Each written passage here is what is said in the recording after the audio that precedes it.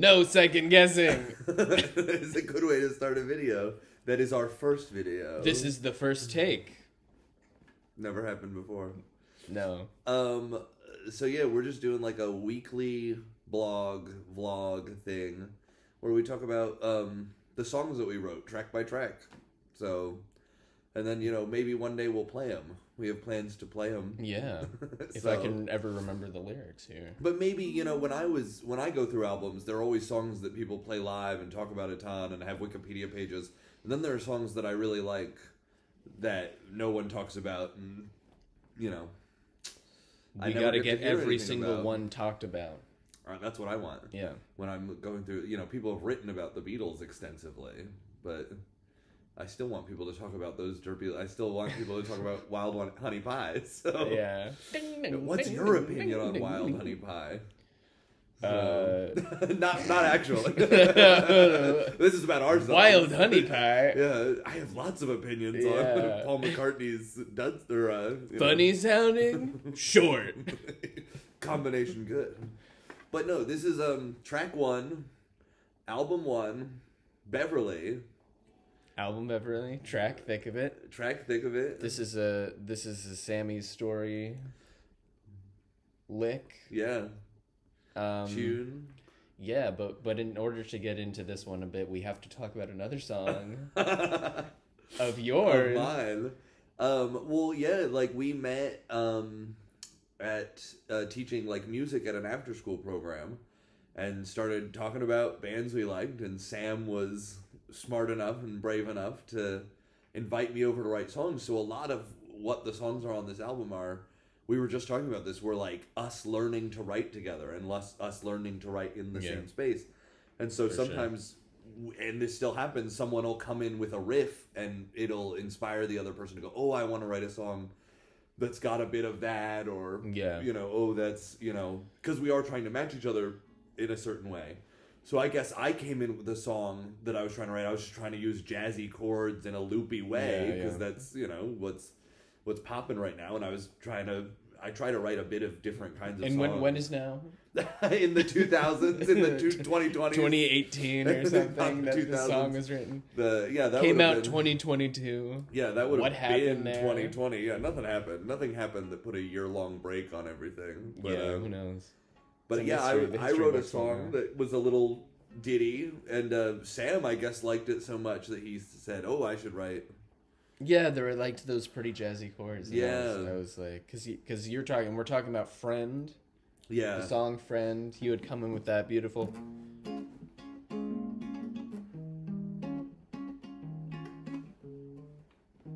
Oh no, I'm not. I'm not playing it right. eh, who knows? Well, you know, we'll work that out in post.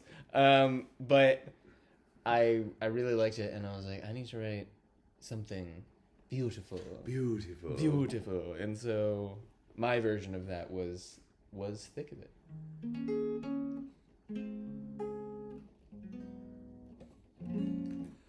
which I love. I think it's a very, it's one of those like simple songs about a complex emotion, or a complex song about a simple emotion. It's just, it's got that balance to it.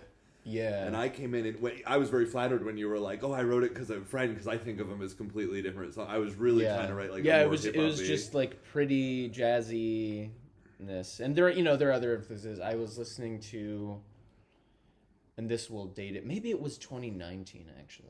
It probably was. I'm Because probably trying to make a I think this is a little later in the process, perhaps. But I was listening to a lot of Wilco's "Ode to Joy." You were, which I finally. You were very excited about that album. Yeah. came out. Yeah, it was a sort of a return to form for them, in my opinion. And there's a song called Quiet Amplifier, which doesn't really musically. But there's an ethos. There's an ethos there. There that sort of makes. I remember walking home from Sure. The school where we both work, Where we and work. I was looking at the sky, and it sort of had this sort of foreboding feeling or Yeah.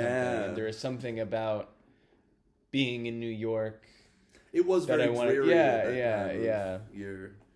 and and sort of all of those strange things came into this song, and Yeah, it, it's it's funny because it worked perfectly because we were kind of talking like we're both really into concept albums, and um, you know we were kind Mhm. of talking about what the album had been about, and I think a couple days before we had decided that it was the genesis of the idea was that each song was going to be a different person in New York. yeah. it was going to be like one day in New York and a bunch of different yeah, characters. which and- which I then of course took. Well, I'm in New York. I'm in New York. so yeah, this yeah. is this Me is just New this York. is just I'm one of the characters. Yeah. so it's like it's okay if I have one that's just. But it, it ended up being a me, yeah. perfect intro for the album because you know there's like the smells like shit line and there's this it gives it this atmosphere and it's funny that the song that was kind of on your mind was what Qu- quiet uh, Quiet amplifier. amplifier because it is like a, a proclamation for the beginning of the album. It's a very like oh here's the setting and and just makes this nice bed for the rest of the album to exist on with all these diverse songs.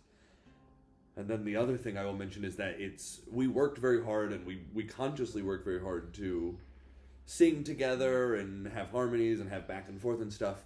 And so this album, this song is Sam sings it solo, and he wrote it solo, and Yeah, just it was, really good. It was a little bit of a yeah, sometimes they just come out. yeah, and then Yeah. I'm not here, you know, and you Yeah. can't help it, or vice versa. But and it's you know it's not too long. It's not Yeah, too complicated. didn't need a anything. bridge. I didn't need to it's come a in and A go, "Oh." A B kind of deal. oh, this needs an outro. Yeah, it was just very. It was nice. It was good. It was Yeah. good the way it was. But it, what it did is it created a nice bookend for the album because what we ended up doing is you had another song that you had Yeah. no lyrics for, and I just like heard it and immediately went like da da da da da. It's a, it's a slow news day. Yeah, so we just bookended the album. The rest of the album very back and forth, very him and I together. Yeah, And I like doing that with our albums where yeah. I think that's still. I think Slow News Day is still the only song that we wrote that way, where it's just like I did all the music, and then you were like, and now it's time for me to come in and sing Yeah. lyrics, and Yeah. Because think initially, we've done that very I had, you know, this is why we're doing this. I hope this is recording. Yeah, I, this is why we're doing this song at a time, is because we tried to do an album at a time and it just got so long. But I was at a point in my life where I didn't have a lot of necessarily confidence with myself as a songwriter, and you know, I In come- walked Mr. Sam. in walked Mr. Sam to give me all this confidence. But he, yeah, and so one of the things that I kind of pitched initially was us doing like a Smiths like thing where I would just front it and you would write all these songs because I was like, I, I don't know if I can write as good as you. You're such a good guitar player and you write all these very oh, beautiful songs. Swap it. And I've become a much better songwriter writing against and with and, Sam. and me too, and me too. And I appreciate that. But you know, We've learned all sorts of jazzy, pretty chords. But that was the one of you can see on Beverly specifically a couple different directions that we were kind of trying, and yeah, you yeah. know we just and settled that- on a that- Lennon McCartney thing, the classic. Yep. You know, we were we both bring different things to the table, and uh, it just works. We write Yeah. some groovy songs. It was So, great. It was great. I worry that when I put my head down, I'm like, but then I'm not looking at the camera. There you go. I'm really, I'm really much smaller than Eric. There you Yeah. go. We're getting used to being on camera. So, you know, if you like these videos, please watch for the next one. If you want to hear about your songs, if you just like, you know, hearing people talk about songs and what they like, we love talking about songcraft. So, my big That's plan true. is one day to film a video where I show you the pilot of Songland. The pilot. But I don't want to be YouTubers. Okay, but, like, okay. but I really want. I think Do be so songwriters react? exactly. so for now, we'll leave it at that. One song, anything. It's your song. It's a beautiful song. No, thank you. Thank It's you.